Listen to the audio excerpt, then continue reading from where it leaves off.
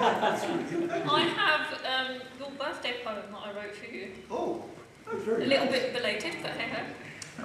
Um, actually, let's start with that then. And God said, let there be light. He realised he needed someone to carry it, so Lantern Carrier was born.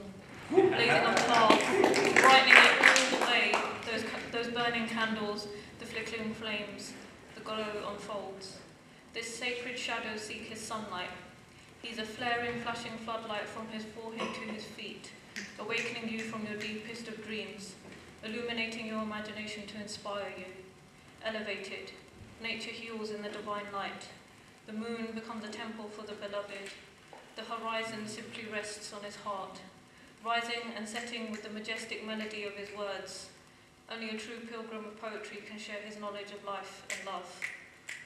The sun continues to knock on your door. Let the stars continue to bow to your light, and the grass absorb the tears from your eyes as dew.